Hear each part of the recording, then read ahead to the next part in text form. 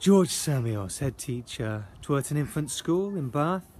Stardate 12th of September, year 2017, with my second head teacher's video update. And I'm talking to you this morning from the bottom playground at the school. And I'm standing by the gate into the area where we're hoping to be able to install some new play equipment. We're really hoping to be able to get the funds for this to install it in the October holidays that are coming up, half-term holidays. This play equipment will be available throughout the whole year. It's going to be on artificial grass, a playing surface that will allow children to access it throughout the whole year.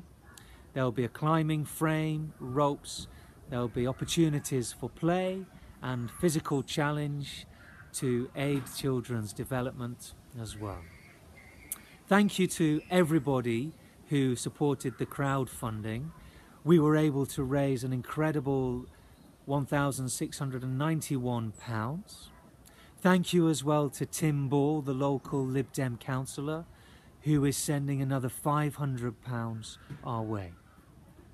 Our Chair of Governors, Sarah Willis, is in contact with a number of organisations and we remain hopeful that they will be able to provide some funding as well.